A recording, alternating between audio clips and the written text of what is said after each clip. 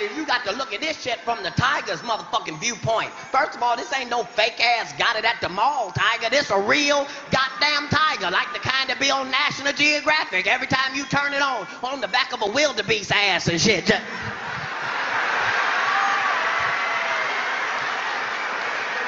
wildebeest don't even be dead. I'm not even dead yet.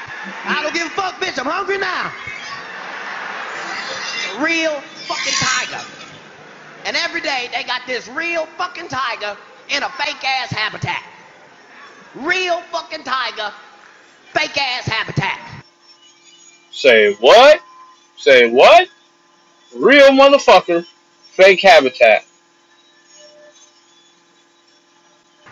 And the tiger not supposed to know as a real tiger that this is a speaker system.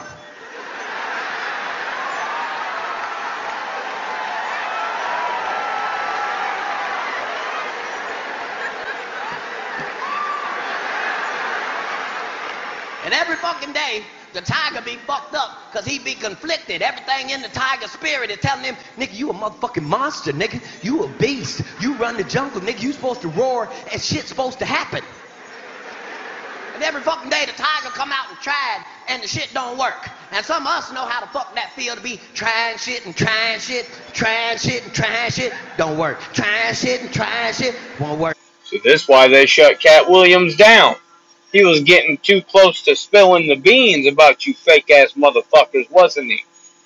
Trying shit, try, switch it up. Trying shit, trying shit, won't work. That's how the fuck the tiger feel every goddamn day he come out with the rope. Because he just might come out and say, I'm a motherfucking tiger, huh? While you want to sit there, you know, you know, in your fake ass environment. and shit. Just wish me luck, wish me luck.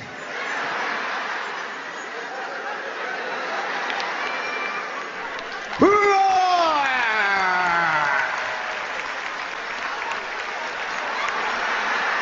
see that bitch take a camera phone picture of me right in the middle of my goddamn roar? You see how they disrespect the tiger? And that that gate between the people and the tiger at the zoo, that gate is the punk ass police.